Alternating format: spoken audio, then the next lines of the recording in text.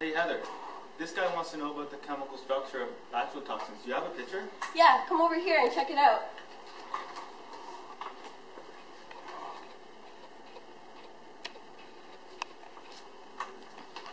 You also know how it gets absorbed in the human body?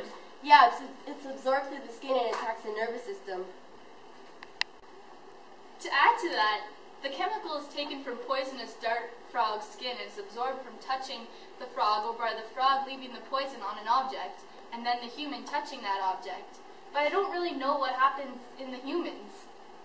Well, some biological effects on the humans include numbness in the human tissue, muscular and nervous depolarization, and heart failure. Batrachotoxin sources these properties by means of action potential. Action potential happens through absorption. The membrane potential is acted upon the unequal supply of ions across the membrane. The moving of these ions along the cell membrane is measured by voltage-gated sodium and potassium channels. When batrachotoxin reaches the pore of the human skin, it causes an irreversible change in the channel's makeup, so the channel is permanently open. This transformation permits ions to freely pass through, which causes a loss of the sodium-potassium concentration gradient. Hey there, wake up. Can't fall asleep yet. We still have the most important part, how it's distributed in the body. Batrachotoxin is distributed in the body by the bloodstream. The organs which are targeted are the lungs and the heart. Batrachotoxin affects these organs by inactivating the sodium channels in nerve and muscle cells, which interferes with the electrical signals that are sent throughout the body, causing fibrillation, cardiac failure, and death. Batrachotoxin binds to the sodium ion, ion channels of nerve and muscle cells. The channels become completely depolarized and are unable to send out signals to the brain to close the channels. To add to that, since batrachotoxin is a relatively new study, there's currently no antidote. The only treatment available is tetrodotoxin, which is another neurotoxin found in the pufferfish. Like batrachotoxin, tetrodotoxin binds to the same voltage-graded sodium channels, but the binding reversibly closes the channels instead of permanently opening them. Doesn't this result in slowing the effects of batrachotoxin? Yeah, tetr tetrodotoxin would be an antagonist, but because it binds to the same graded sodium channels, the binding reversibly closes. Does your brain hurt yet? Take a look at this picture of the poison dart frog. They're only about 2.4 inches, which is about 6 centimeters. Pretty cool, eh? Who cares if his brain hurts? He wants to learn if it's detoxified or toxified. Batrachotoxin does not get detoxified because it is a substance that cannot be transformed into cell substance. Therefore, once the poison gets absorbed, the presence of such substances in the body can serve only as disturbing elements. The foreign bodies it must be expelled, often at great expense to the organism.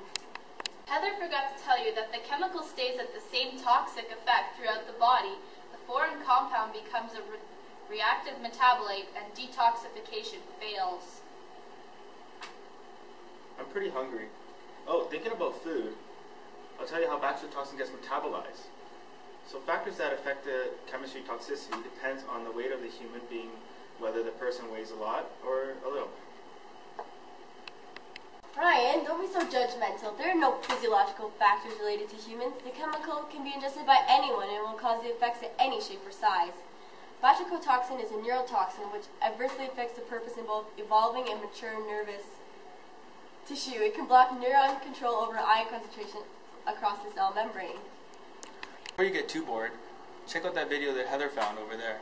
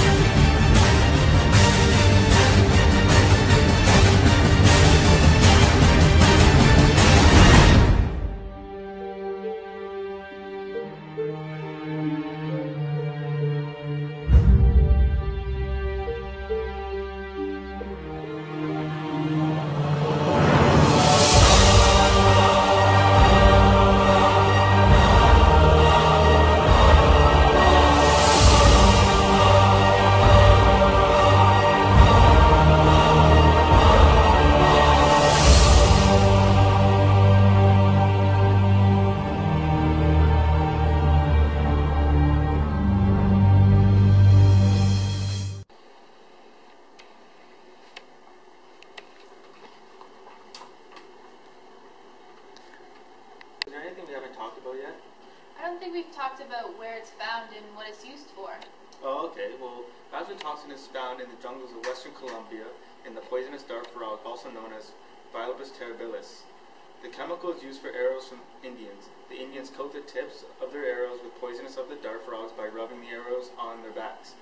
A human is exposed to the chemical when the physical contact with the frog. Bailey, do you know how it is exposed? And also the no observable effects limit? Yes, the chemical acts instantly to a human when the frog is touched. Children are more vulnerable to the toxin because the lethal dose is related to a 150 pound person, and a child weighs less than that, it will have a more adverse effect. Testing the LD50 in a 20 gram white mouse has a lethal dose of 0.5 micrograms.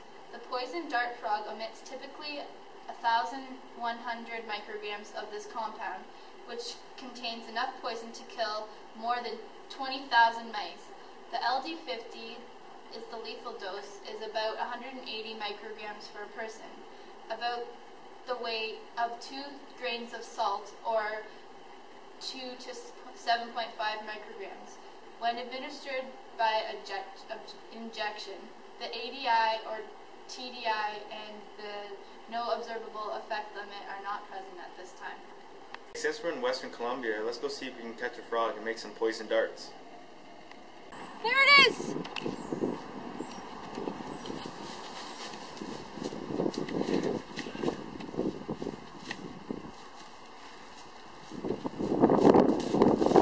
I got it.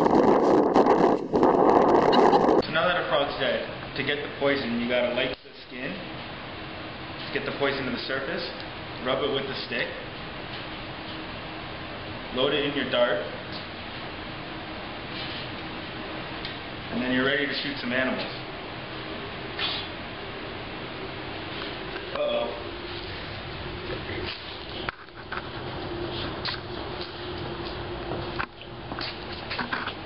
Oh, that's not good. Are you okay? Well, let's get out of here.